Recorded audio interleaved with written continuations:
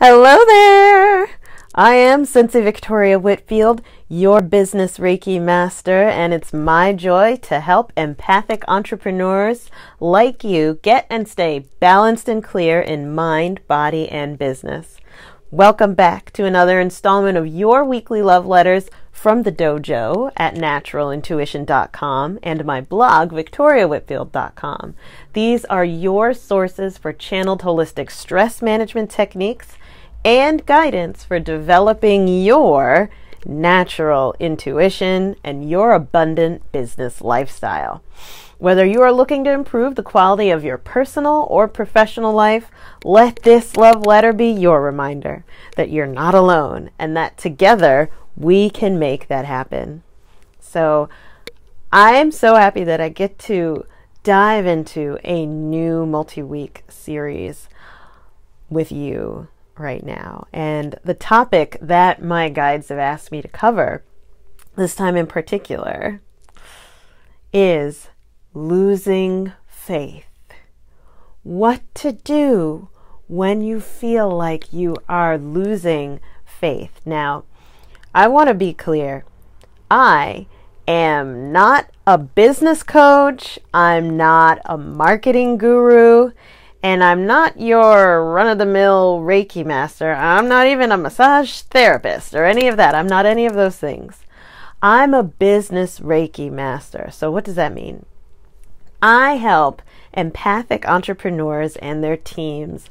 I help burnt out business owners.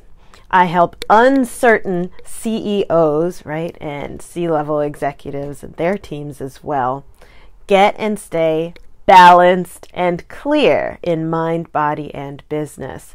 So, although I am not the person who's going to tell you how to write a business plan, right, or how to get your first client, I am the person that's going to support you with the energy behind doing those tasks making sure that your vibration, your emotion, your energy in an emotional, spiritual, and mental sense, and even a physical sense from time to time, is balanced, is managed very well.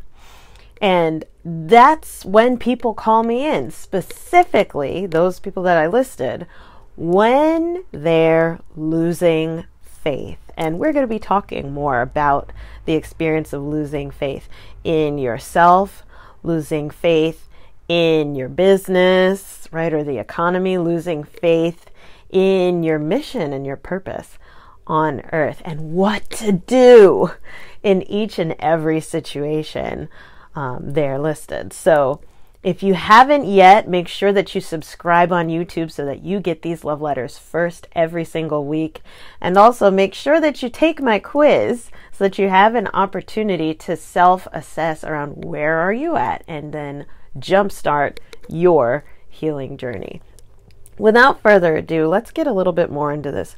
Why are we talking about losing faith in particular?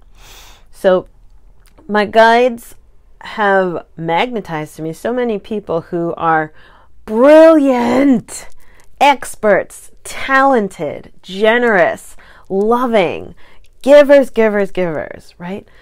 Givers gain. If you know what I'm talking about, right, send me an email back, right? Comment below wherever you're seeing this.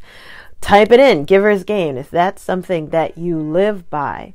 And here's the thing eventually, if you are not receiving and giving, right? So if you're not receiving as you give, you will dry out. Think of it this way Think of yourself as an oil lamp.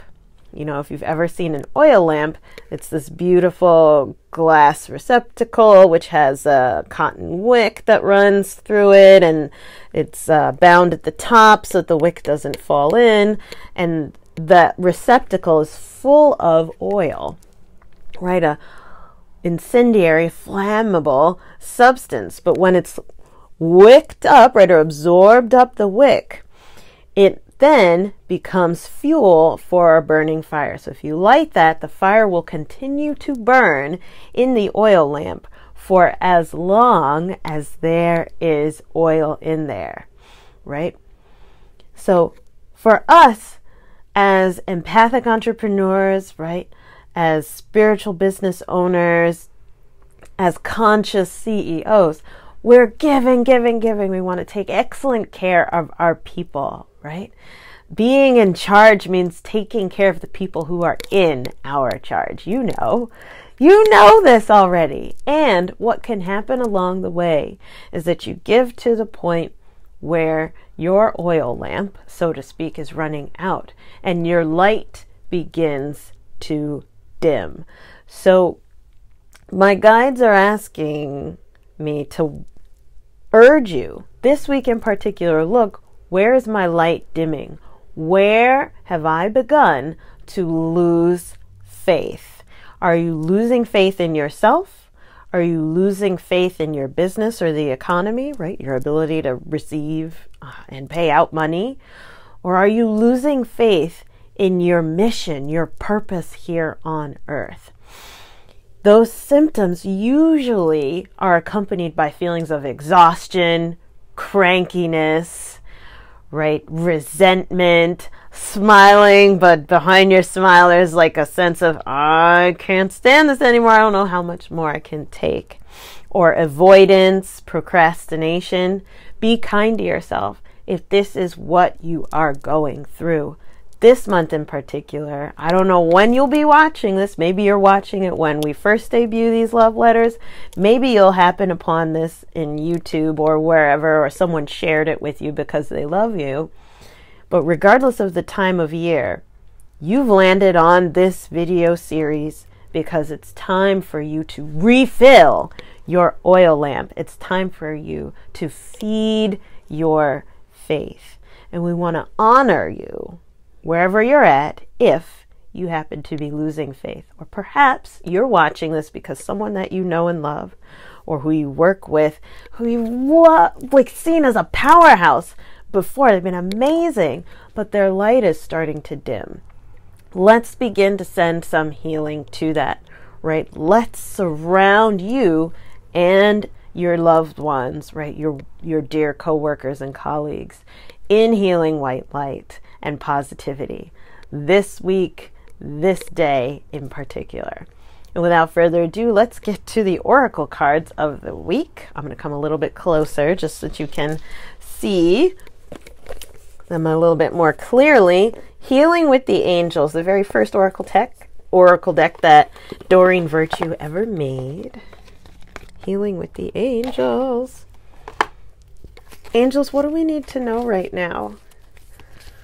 about this topic of losing faith.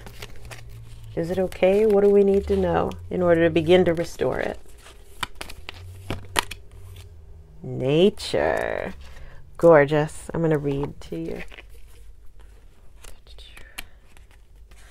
Let's see. M. N. Nature. Spending time alone in nature is important for you.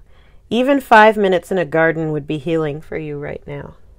By drawing this card, the angels ask you to interact with nature more often, every day if possible. This card also signifies that you may be happier living in a more rural setting. If you have thought about moving away from city life, consider this card as additional validation. Also, this card may be encouraging you to choose an occupation involving plants or animals. For instance, you may enjoy gardening, nursery or veterinary work, pet sitting, or delving into the world of animal communication. Your angels and the nature elementals are helping you discover and give your gifts to the world. Help them to help you by spending more time in nature. And here's where we're going to leave off for this week. As we enter into this more vulnerable topic of losing faith, one way that you can begin to rebuild already before we start talking about more specific ways is by reconnecting to nature. Reconnecting to nature. Nature is so healing, right? If maybe you lost a loved one, or maybe um, a major client fell through, the way that you can begin to restore your faith in yourself, in life, in business, is to step back and appreciate nature. You know, the beautiful thing about plants is that they continue growing, right? Or how animals, they have this beautiful wonder and awe for life. They have this essential beauty and innocence to them. Mountainsides, uh, forests, right? The beach and the water. Connect to the beauty of nature and allow it to begin to replenish and refill your soul. So, if this is on time for you, right, if it's speaking to you, make sure that you comment below, send me an email back at info at victoriawhitfield.com, and subscribe on YouTube so that you get these love letters first every single week. And by the way, if this is really resonating and you're thinking of someone in particular, will you please send them this video? Right? Let them know that they're not alone. And if you received this and someone shared it for you, I want you to know you're not alone in this. Faith can be restored. Connect to nature this week. Go for a walk. Soak it up. Be gentle with yourself. And I'll see you next week so we continue this conversation. Mwah! Sending you so much love.